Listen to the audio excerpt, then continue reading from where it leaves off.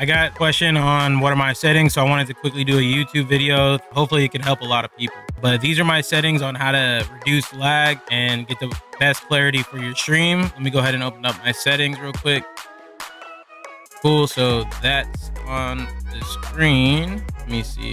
Yeah, all right, so that's on the screen.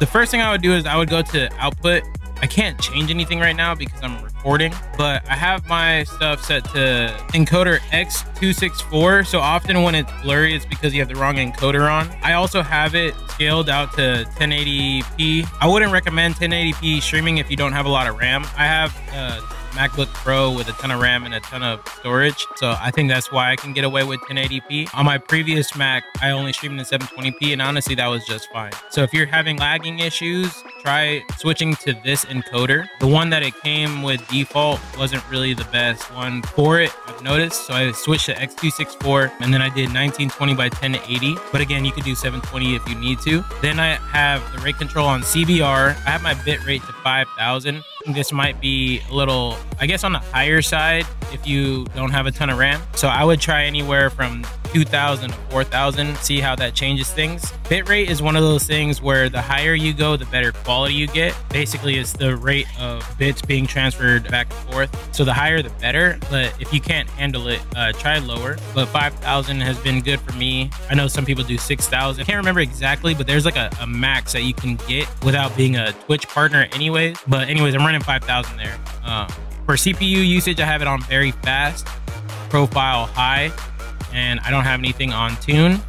Then go over to recording. You're gonna wanna do this as well. You might wanna switch this to 720. I do have the recording format spitting out the MP4 because I do a lot of recordings and I use MP4s in my recordings. But as far as the encoder, again, 264 1920 by 1080 and then the same same settings uh, cbr 5000 very fast high and tune and i think that that about does it um Again, you want to go to video and change your, your base canvas resolution if you need to lower it to 720 or, or however. But, I think that about does it. This isn't really a, a complicated video to make because I just, I'm just showing you my settings, but there's a couple things I guess I could teach you. The encoder, when it's using the hardware, what's happening is it's taking too much CPU. So when you switch to this X264, I'm not sure why exactly, but it, it requires a lot less CPU that way. The name of the game is you're trying to lower your usage of your CPU.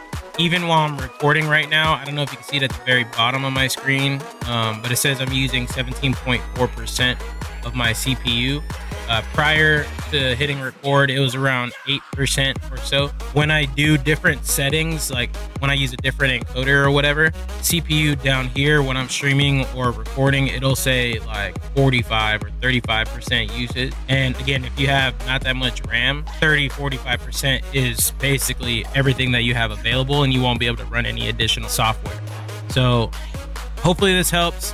If you found this video helpful, make sure you hit the sub, if you have any other questions, drop it in the comments and I'll catch you guys in the next video. I appreciate y'all. Peace.